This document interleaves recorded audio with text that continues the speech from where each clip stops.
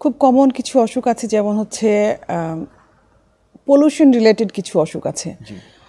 Smoking বলি বা indoor outdoor pollution related বলি সিওপিডি খুব ইম্পর্টেন্ট একটা এটা সাধারণত এল্ডারলি পিপল মানে গ্রুপ অফ পিপলকে আসলে এটা এফেক্ট করে।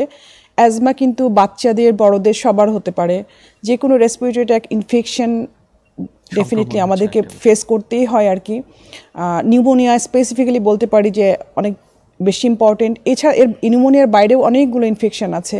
আমাদের দেশের জন্য খুব ইম্পর্টেন্ট টিউবারকুলোসিস টিবি বা যক্ষা যেটা বলতে পারি। সো এগুলোই আমরা মেইনলি হ্যান্ডেল করি। আর রিসেন্টলি আমরা তো একটা প্যান্ডেমিক পার হয়ে আসলাম কোভিড যেটার পুরো ইফেক্টে আসলে শুরুই হয় লাং দিয়ে এবং অনেকেই ক্ষতিগ্রস্ত লাং নিয়ে এখনও মানে সার্ভাইভ করে আছেন আর কি।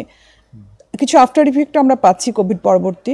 সো বেসিক্যালি মানে লাংয়ের অসুখ বলতে কমনলি এগুলোই বোঝাবো। এর বাইরে আছে লাং ক্যান্সার একটা বিশাল একটা মানে লোড আর কি আমাদের জন্য।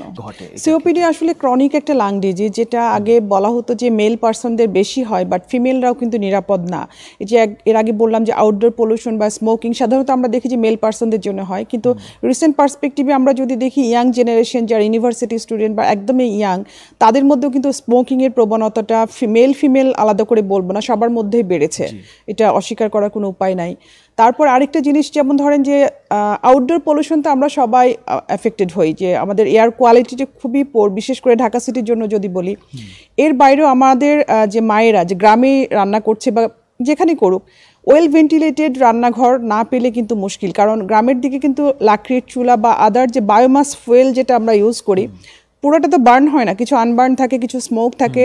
ভেন্টিলেটেড পুরোটা না হলে হয় কি ওখানে উনি লম্বা সময় বেশ দিনের একটা বড় সময় তো উনি রান্নাঘরে মানে ব্যয় করেন আর কি। সেই আর পলিউটেড এয়ারটা উনি ইনহেল করেন যেটা অনেকটা স্মোক হ্যাঁ সেই ধোঁয়াটা জাস্ট লাইক স্মোকিং এর মতো ইফেক্ট ফেলতে পারে আর কি ফেলে। এবং দেখা যায় যে ফিমেলদের মধ্যেও কিন্তু সিওপিডি ডায়াগনোসিস আছে।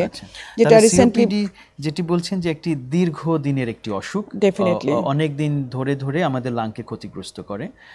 এটার এটার পুরো ফরম্যাট ফরম্যাটটা আসলে chronic obstructive pulmonary disease chronic obstructive pulmonary অর্থাৎ দীর্ঘদিন ধরে থেকে আমাদের লাংটার ক্ষমতা কমে যায় কমে যায় ক্ষমতা কমে যায় মানে কার্বন ডাইঅক্সাইড বের করে দেওয়ার ক্ষমতাটা ধীরে ধীরে কমে আসে। আলটিমেটলি ড্যামেজ লাং হয়ে যায় লাংয়ের ক্যাপাসিটি কমে যায় সবকিছু মিলিয়ে।